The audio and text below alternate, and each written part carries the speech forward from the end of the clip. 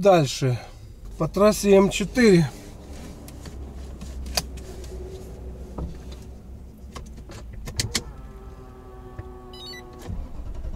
Вас приветствует видеорегистратор.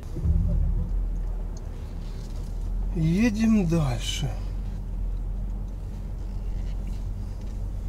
9 часов, хорошо. Позавтракали. Как я говорю, все надо делать вовремя.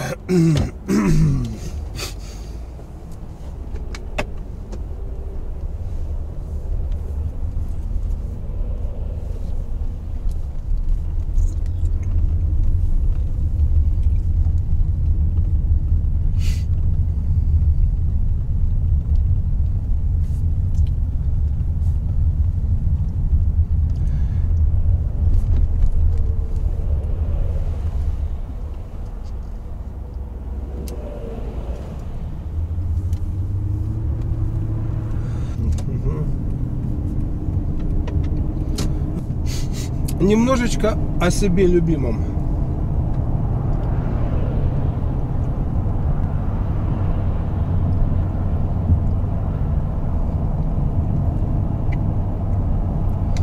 В продолжении беседы, что можно много знать, а толком ничего не уметь. Основной критерий конкретный результат.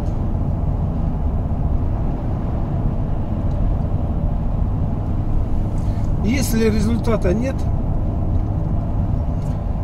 то все ваши знания, образование, не одно, а два, три, а то и четыре,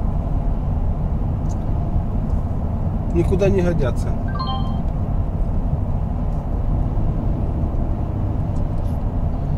Есть масса людей, которые пытаются учить других, не зная и не умея.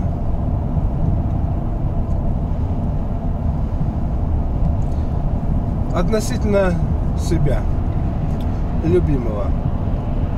Почему любимого? Потому что себя надо принимать. Если ты чем-то недоволен, каким-то качеством в самом себе – то поработай над ним, чтобы стать довольным этим качеством. И вот именно так я и начал работать еще с детства.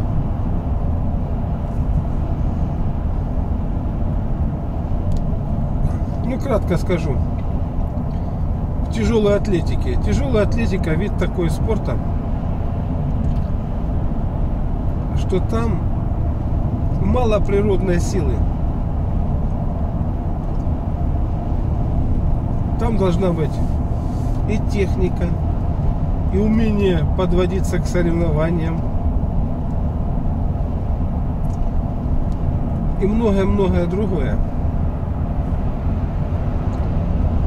Я видел ребят, которые посильнее меня, и даже намного посильнее меня физически. Но что касается подъема штаны, вот эта физическая сила, зажатость им мешала поднимать. Понимаете, мешала поднимать. Вот такой вот парадокс.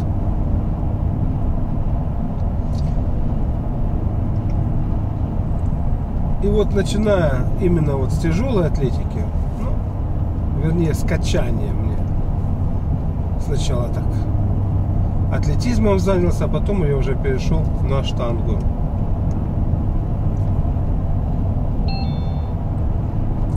Вот какие качества должны быть у человека? Вообще качества. Ну, сейчас относительно тяжелой атлетики. В первую очередь, это наблюдательность. Наблюдательность за другими людьми. А именно те люди, это очень хорошо видно, которые достигли в этом деле какого-то существенного результата, успеха. То есть я вот пацаном смотрел, А, а за счет чего они поднимают? Ага, техника. Ну, технику. Вот я старался эту технику освоить, отрабатывал самостоятельно. Смотрел и отрабатывал, смотрел и отрабатывал. Раньше были книги такие, которые вот именно технику показывали. Сейчас таких книг нету. Вот я по этим книгам, а больше по телевизору смотрел, вот когда были соревнования, как выступает тот или иной штангист, какая у него техника, что он там показывает. И я старался вот это вот для себя применить, скопировать.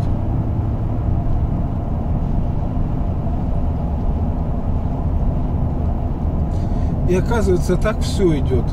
Вот даже я читал про святых. Ученики приходят к святому, они просто живут рядом и смотрят, что он и как делает. Все.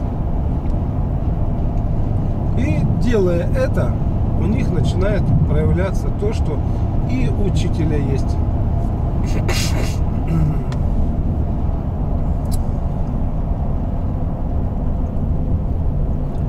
Вот точно так и я действовал. Ага. Вот такая-то техника. Я потратил много времени для того, чтобы ее освоить. Освоил. Потом, помимо техники, надо же сила. Как они там силу набирают. Прочитал там про Поля Андерсона, что вот он приседал со штангой. Приседание 100 примерно делал за одну тренировку. И выпивал там где-то литров по 5 молока примерно там. Ну и я так начал. Бедончик. Молоко покупал. Выпивал, приседал. И потихоньку, потихоньку, ага, пошло, пошло дело. И вот как раз тяжелая атлетика, она позволила мне мне схватить вот это основное. Как надо учиться. Смотри на тех, кто лучше тебя, и перенимай их опыт.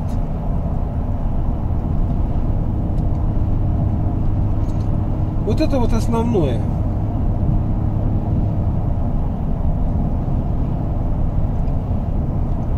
И вот сейчас я веду этот канал. Много людей подготовленных и грамотных и начитанных и даже кое-что умеющих. Я не считаю себя в этом деле какой-то выдающейся личностью. Но когда смотрю на каналы других людей, у которых там подписчиков ну раз в 50 больше, чем у меня, я, конечно, это. Также начинаю анализировать, за счет чего это там происходит.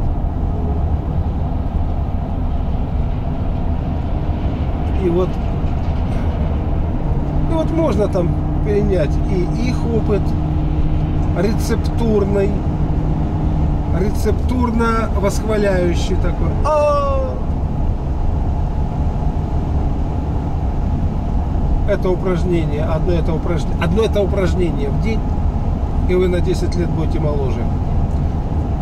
Далее ролик идет, а вот это упражнение на 20 лет будете моложе. А вот это упражнение вы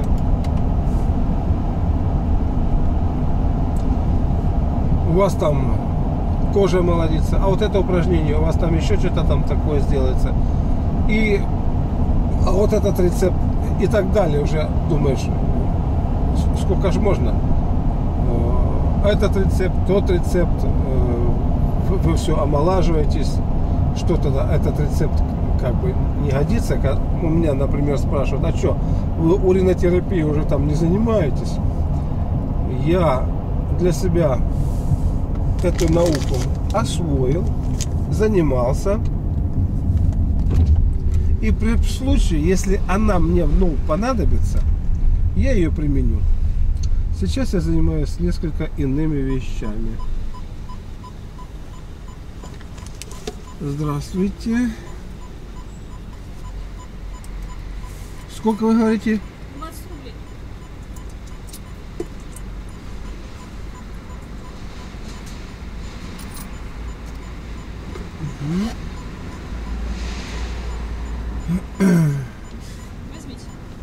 Спасибо.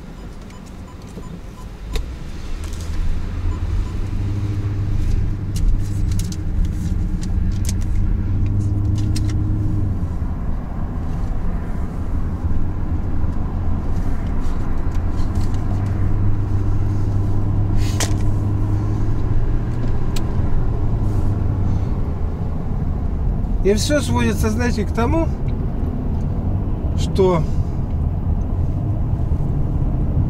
эти люди Не- несколько я отвлекся. Вот, э, мне не хочется вот уподобляться вот этому вот э, рецеп- рецептузму. Потому что в свое время, когда я начал заниматься, искал, это естественно, естественный этап жизни, ты ищешь рецепты, вот они должны там работать. Было у меня такое. Но оказалось, работает не рецепт, а как ты сам работаешь со своим собственным организмом. Можешь ты с ним работать или нет. И вот тут тяжелая атлетика мне опять-таки намного открыла глаза, как и что там работать. Это одно с другими каналами. Поэтому мне не хочется им уподобляться, а хочется, вот как я это дело понял, и как мой собственный опыт показывает, что лучше всего работать так. Рецепты это все дело такое временное и ненадежное. Сегодня действует, завтра не действует. Почему не действует, кто его знает, никто не знает. Далее. На канале имеются подписчики, люди начитанные, пробовавшие кое-что и даже выросшие на моих книгах есть. Есть такие, которые хотят что-то там поспорить, что-то там свое там доказывать. Да вообще вот в интернете такая вещь, какие-то там батлы, с кем-то надо там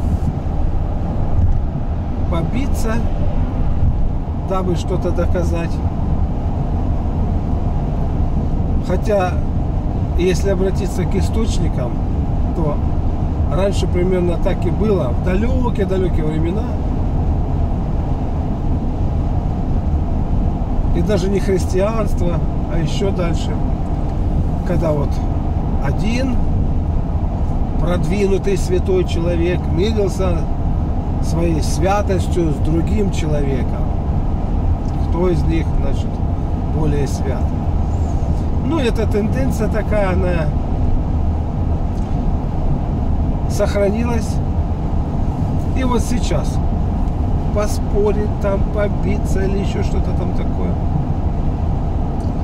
Я как-то уже самому себе доказал, почему я вот успокоился, поправился и доволен тем, что я имею. Если это не имею, значит я просто-напросто начинаю работать в этом направлении, дабы иметь. Так вот, мне не хочется там с кем-то там спорить, что-то кому-то доказывать. Я себе все доказал сам, повторяюсь. Критерий самый лучший – это пример, собственный пример. И вот я начал с примеров, что, что важно за дело взяться умело. Вот интересная мысль. За дело взяться умело. И если ты умело взялся за дело, то ты опередишь всех остальных, которые в этом деле не так смыслят, как ты. В том числе в тяжелой атлетике. Вот я знаю Ковача. Он мне рассказывал, до этого как-то мы с ним так не говорили, а тут поездка в Крым. Два дня. И вот он рассказывал, что раньше он был рахитом, то есть родился рахит, голова большая. В детстве там его обижали. И он говорит, я уже понял, что мне своих сверстников вот чисто физически не одолеть. Из-за того, что я имею какие-то вот такие уже с детства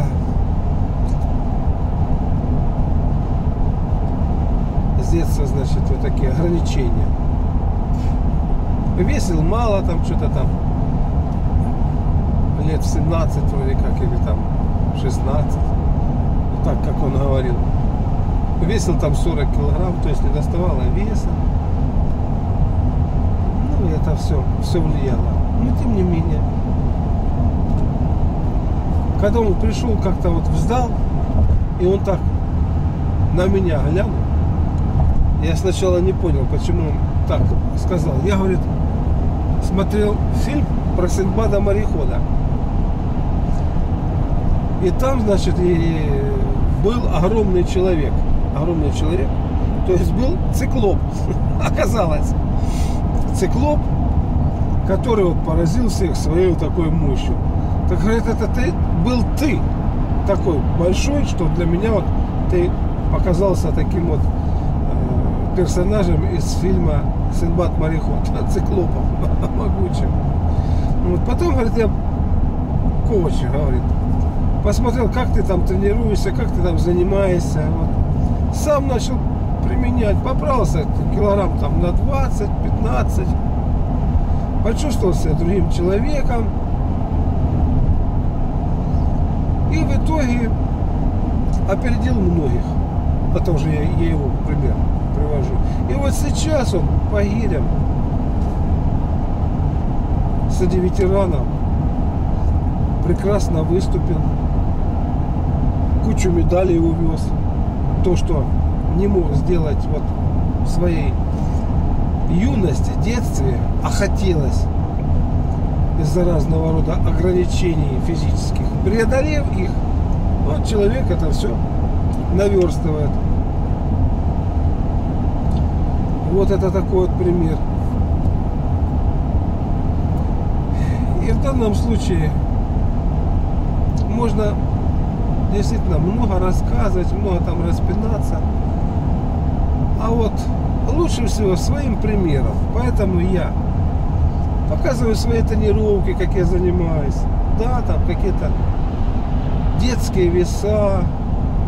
Я не хочу там ставить какие-то там рекорды, там к чему-то такому тянуться. Ну, так более-менее существенно увеличить для себя. Ага, где-то там что-то уменьшить, что-то там нарастить, что-то там делать. Чтобы это наглядно было. Вот как я голодал и записывал, и вы там увидели все. И ряд ужаснулся людей. Надо же так себя довести. Вот для того, чтобы поработала, дух поработал творчески над телом, надо определенное время. И как раз вот за это время вы становитесь другой личностью. даже с другой фигурой. Ну, личность не сразу, конечно, меняется, но тем не менее. Итак, собственным примером показывать другим, что можно там в что можно в саморазвитии, что можно в самореализации. А не спорить, не тратить время там на какие-то там батлы, что-то там кому-то доказывать.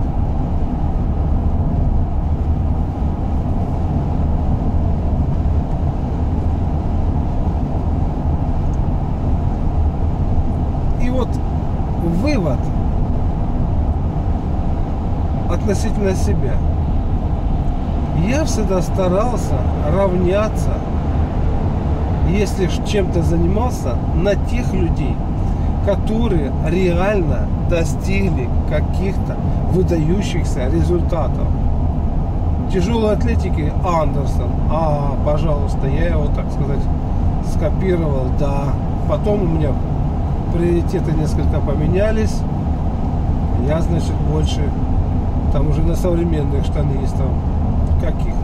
Там Люксфельдер, Давид Ригерт, Василий Алексеев. Василий Алексеев, вот, прекрасно говорит. В первую, в первую очередь надо знать, что ты хочешь. Многие не знают и не понимают. Кстати, эту же мысль высказал и Эрнст Константин Львович. Многие люди не знают, что они хотят. А раз они не знают, что они хотят, они тогда, соответственно, и действуют так. Их действия напоминают метание туда-сюда, туда-сюда, и толком ничего не получается. А когда ты понимаешь, что ты хочешь, подбираешь средства и пошел. И для этого пользуйся примером человека, который этого достиг. Итак, спорт прошел. Далее я. Вот.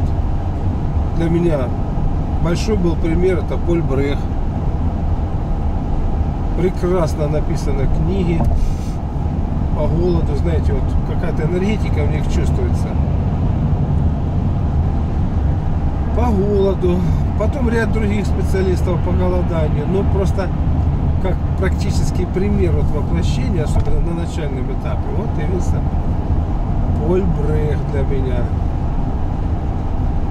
Потом, конечно, был Стура Новакович Аракелян, который сказал и доказал, что на животных, что это может быть применяться и в массовых масштабах, что это просто не единичные примеры, а это уже статистика, это работает на массу то есть омоложение с помощью там голода.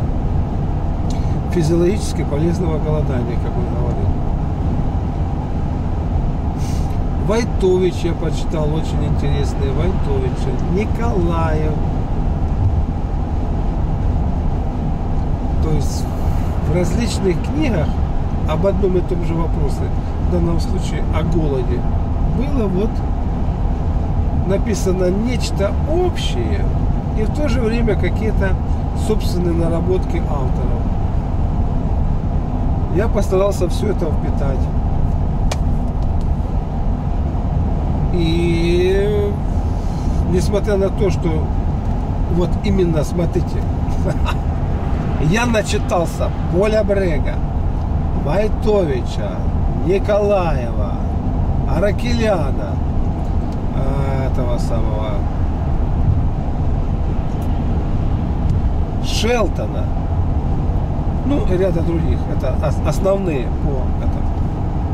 И вот несмотря на то, что я был начитанный, и я начал практиковать голодание, оно у меня не получалось.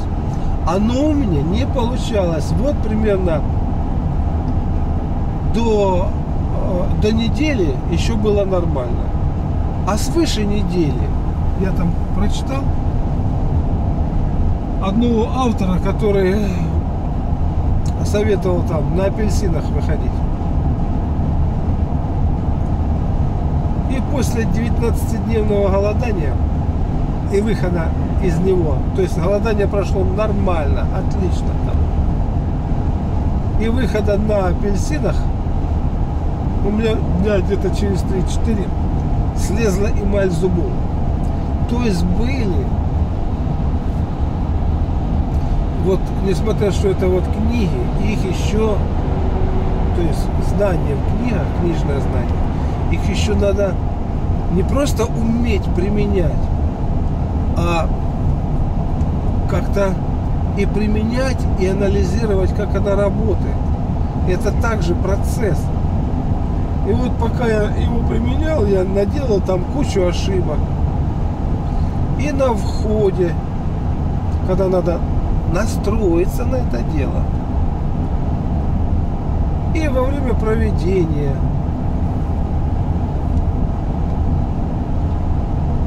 Те, кто голодали, меня поймут и оценят.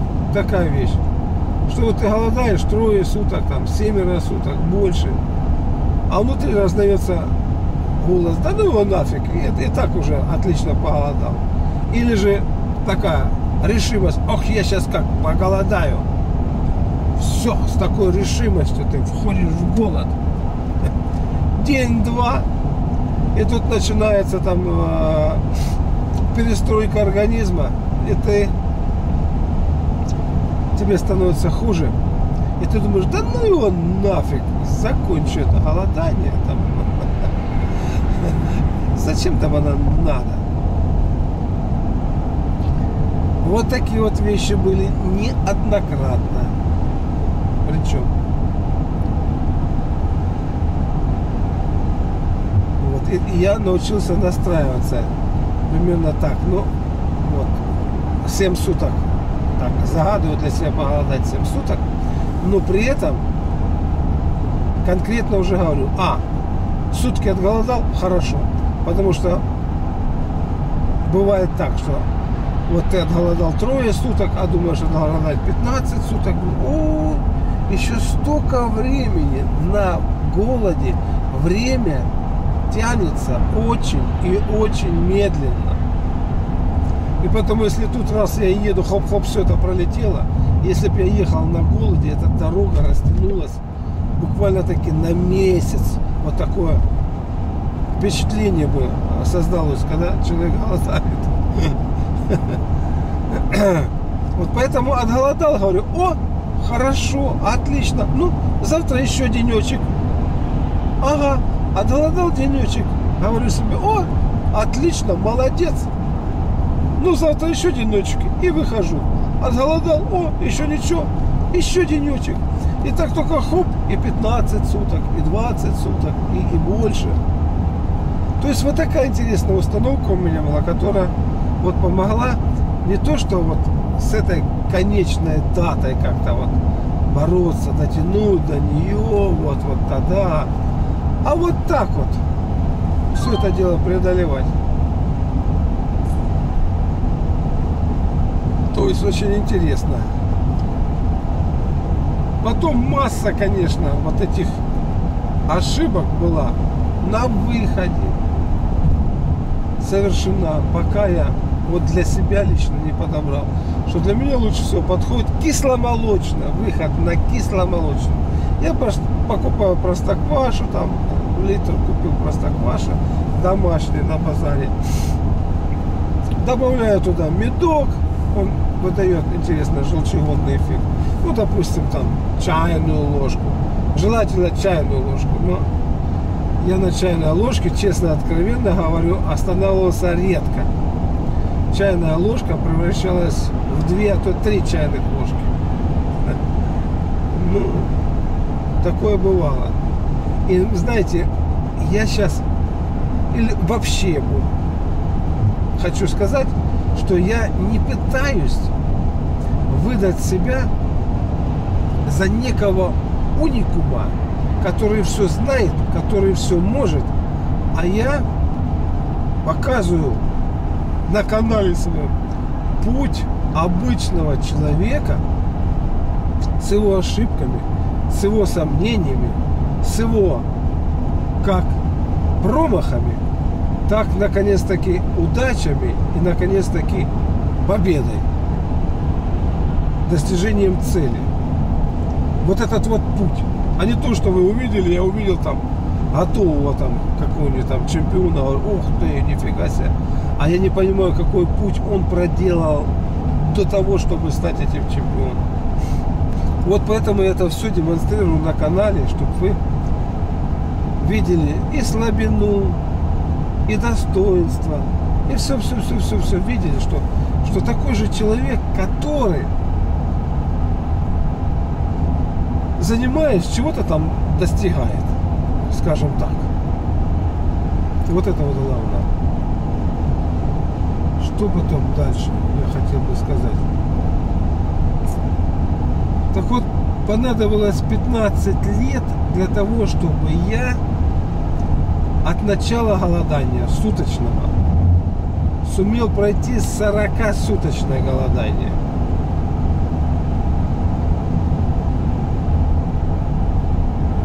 Лет. При этом голодание в различные сезоны года также откладывает свое, свой отпечаток. Очень трудно голодать летом, в жару. Просто выматывает, расслабляет. Гораздо лучше, гораздо лучше, знаете, вот э, весной, осенью, когда вот такое вот прохладное, влажное время года. Голодание сушит, а вот эта вот как раз погода, она способствует тому, что как-то помогает этому процессу. Зимой получше, чем летом, но голод, фу ты голод, а, этот, мороз, он также накладывает свой отпечаток, как какое-то голодание получается жесткое. Это же самое про жесткое голодание можно сказать и голодание сухое. К нему также надо подготовиться, настроиться.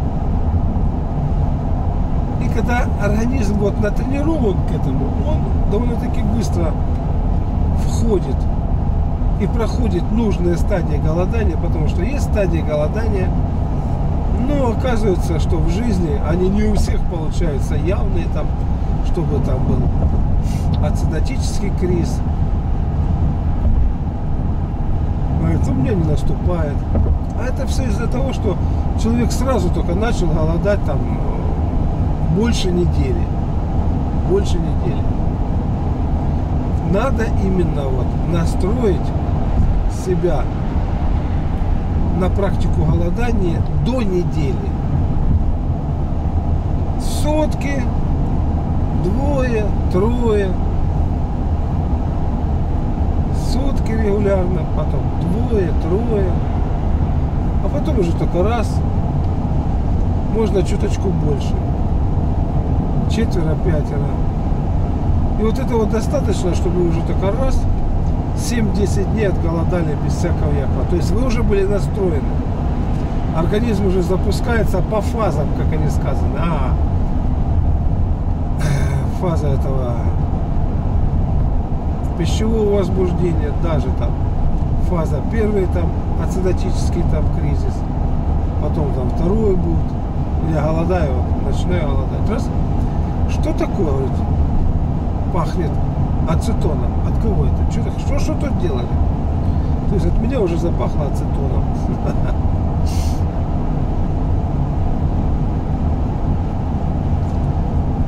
Вот, пришлось найти существенные ошибки голодания. Это прежде всего голодание без учета индивидуальной конституции. Масса ошибок возникает. И люди, как правило, если их не понимают, они бросают это все дело. Отбираются только те, у которых индивидуальные особенности Конституции, как никогда хорошо подходят для голодания. И они тогда голодают, говорят, о, а другие попробовали их вот так вот свернуло в дулю. И они, не-не-не-не, я голодать там. А им нужен совсем другой голос.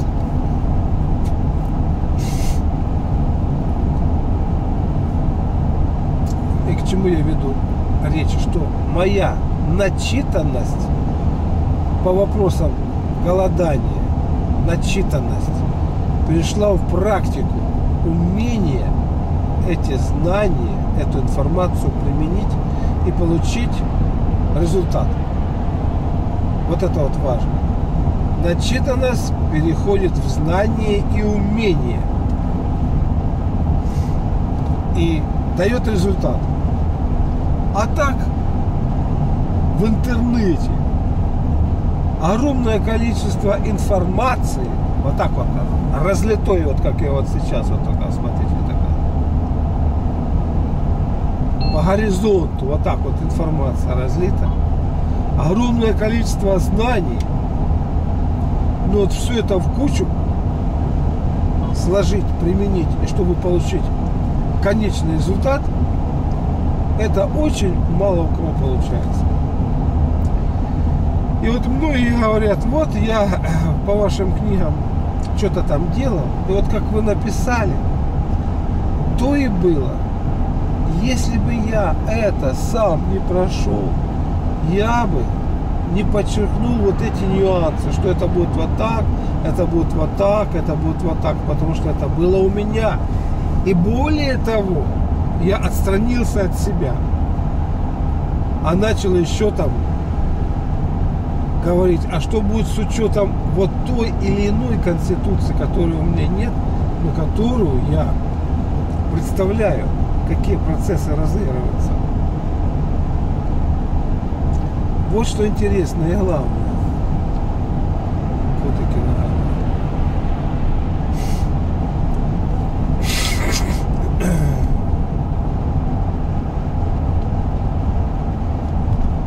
И мне остается для того, чтобы регулярно выходила информация на канале, чтобы этот канал превратился в какое-то там доходное дело, вот так же заполонить интернет своими рецептами. Но если я рассказываю вот как о соде, вот что вы там до этого про соду там слышали? В основном там как ее там пьют, как после этого портится там желудок, ну и еще там что-то там такое. Я собрал всю информацию, всю доступную мне и обработал ее. Как уже вы с ней поступите, как вы уже служите, это ваше дело. Так точно я там буду делать травник, у меня уже есть статьи на эту тему. Следующее там про целебные свойства березы и продуктов на основе березы.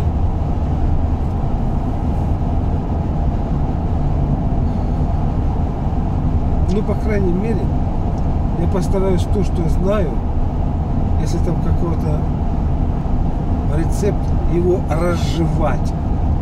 Не давая так, ага, вот это так съел, это смешал, все. И кроветворение у тебя там будет. Ну вот так вот примерно как-то.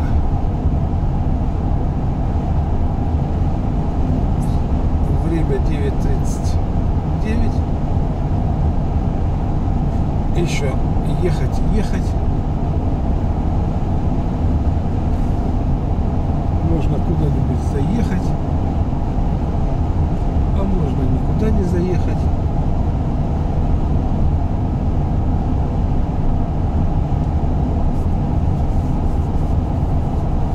Поэтому не обольщайте себя своими знаниями, своим образованием. Это дело хорошее.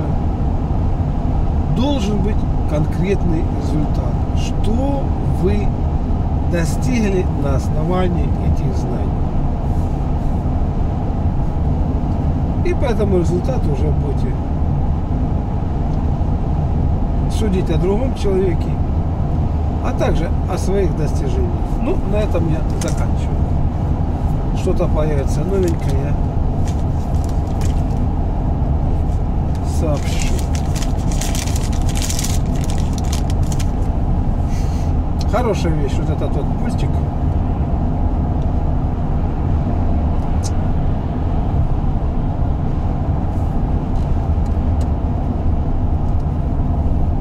С помощью его я вижу в эту камеру себя, когда главное настроить. И дальше я уже с него выключаю. Сейчас нажму, исчезнет красная вот эта вот лампочка. Благодарю за просмотр. Если вам понравилось видео, ставьте лайк, звоните в колокольчик и подпишитесь на канал. Ваше участие развивает канал и способствует его продвижению. Вы можете посетить бесплатно мою авторскую библиотеку на сайте Малахов Про. Доброго здоровья и до новых встреч!